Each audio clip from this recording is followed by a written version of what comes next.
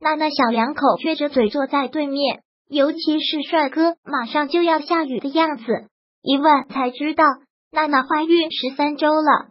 前几天因为咳嗽发烧，老公又出差不在家，就一个人跑到去输液，用了三天埃奇霉素。这小伙子回来一听不乐意了，坚定的认为妊娠期不能用抗生素，拉着娜娜就来咨询了。别急别急，埃奇霉素对于孕妇而言属于妇产科用药一类药，是比较安全的。动物生殖研究表明，埃奇霉素可穿过胎盘，但对胎儿无损害迹象。埃奇霉素是以鱼化脓性链球菌引起的急性咽炎、急性扁桃体炎、敏感细菌引起的鼻窦炎。中耳炎、急性支气管炎、慢性支气管炎急性发作、肺炎链球菌、流感式血杆菌以及肺炎支原体所致的肺炎、沙眼衣原体及非多种耐药令定耐色菌所致的尿道炎和宫颈炎、敏感细菌引起的皮肤软组织感染。动物实验显示该品对胎儿无影响，但在人类孕妇中应用上缺乏经验，所以在孕妇中应用需充分权衡利弊。尚无资料显示该品是否可分泌至母乳中，故哺乳期妇女应用需谨慎考虑。建议去针对病情，按照主治的医嘱用药。目前尚无埃奇霉素在母乳中分泌及用于妊娠和哺乳人群的不安全或胎儿制剂的资料。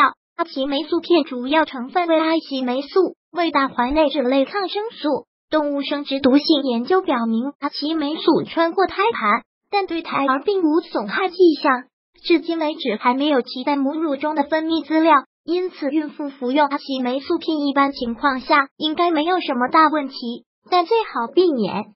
不可以在妊娠和哺乳期妇女无适当选择余地时使用本品，不同时间用药产生的后果不同。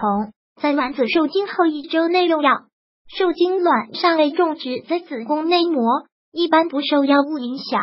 如受精一到二周内用药，受精卵已种植于子宫膜，但组织尚未分化，药物产生的影响除流产外，并不引起窒息。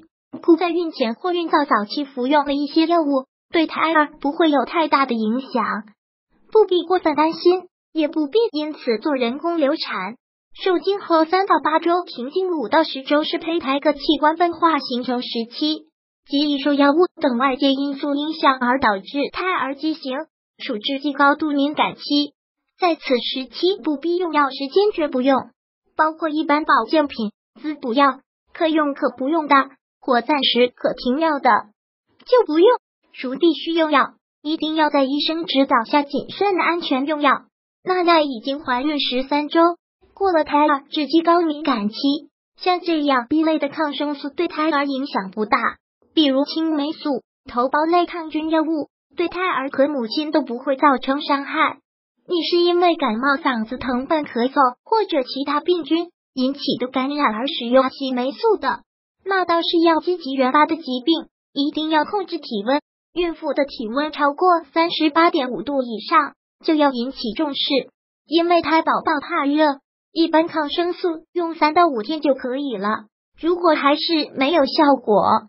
也不需要继续用下去了，可以做细菌培养，针对性合理应用抗生素，同时注意不要轻易使用抗生素，更不要滥用抗生素。小两口渐渐放松了，笑容又回到那青春靓丽的脸上，阳光极了。娜娜说已经好多了，不再输液，回去多喝水，并喝点中成养制剂，可以吗？当然可以呀。如果喜欢本视频。请分享并订阅本频道，别忘了按赞哦！